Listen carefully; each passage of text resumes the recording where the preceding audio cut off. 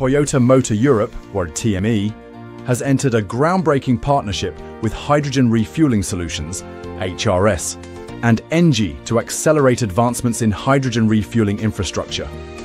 This collaboration is poised to address one of the most significant challenges facing the hydrogen sector today.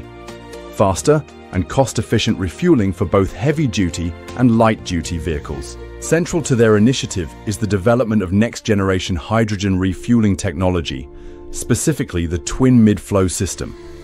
Funded under the European Union's RHeaDHy project, short for refueling heavy-duty with very high-flow hydrogen, this partnership emphasizes streamlined operations, enabling hydrogen to play a pivotal role in decarbonizing Europe's transport sector. The twin mid-flow is a dual nozzle system capable of refueling both heavy trucks and lighter vehicles from a single dispenser. The technology eliminates the need for separate refueling systems, reducing installation costs for station operators and enhancing accessibility for users. The system achieves this by operating at a higher flow rate, which significantly cuts refueling times. A 40-ton hydrogen-powered truck, for instance, can achieve a range of 600 kilometers with just an 8-minute refueling time, or up to 900 kilometers after a mere 12 minutes. Meanwhile, light-duty vehicles can refuel in less than 5 minutes. This represents a major leap forward compared to previous technologies, which often required much longer refueling times and separate dispensers for different vehicle types. For hydrogen station operators, this advancement promises to lower infrastructure costs while simultaneously boosting station utilization rates. For end users, particularly fleet operators and logistics companies, the reduction in downtime translates to increased efficiency.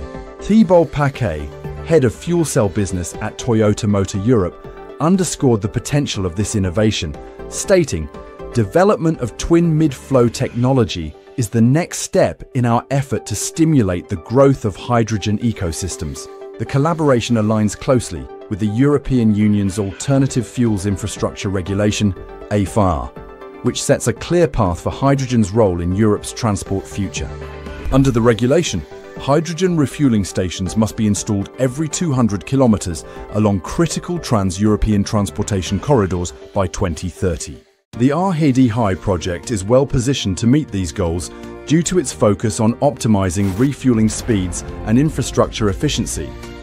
Furthermore, this partnership not only helps address the demand for scalable hydrogen solutions, but also tackles critical infrastructure gaps, long cited as a barrier to hydrogen adoption, particularly for commercial fleets and heavy-duty vehicles. Toyota, for instance, continues to build on its expertise with fuel cell vehicles, including the Mirai passenger car and its collaboration with VDL for hydrogen fuel cell trucks.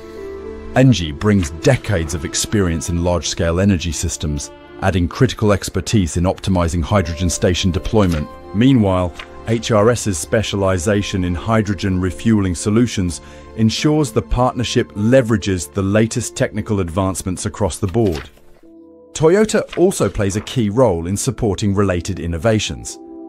For the RHeaDHy project, the company has provided test benches and prototype vehicles equipped with the twin mid-flow technology. Similarly, HRS and ENGIE are spearheading the development of refueling stations to ensure compatibility with this advanced system, with large-scale testing scheduled to begin in late 2025. Twin mid-flow technology could serve as a template for hydrogen station designs worldwide easing the transition for countries looking to adopt hydrogen as a mainstream fuel.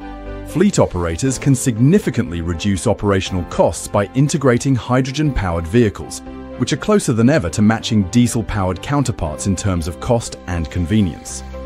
By addressing key bottlenecks such as refueling efficiency, Toyota, HRS and ENGIE set a strong precedent for how multi-stakeholder collaboration can advance clean transport. Thanks for watching. If you enjoyed this video or found it helpful, hit subscribe to support us and stay tuned for more. Your support means everything. See you in the next one.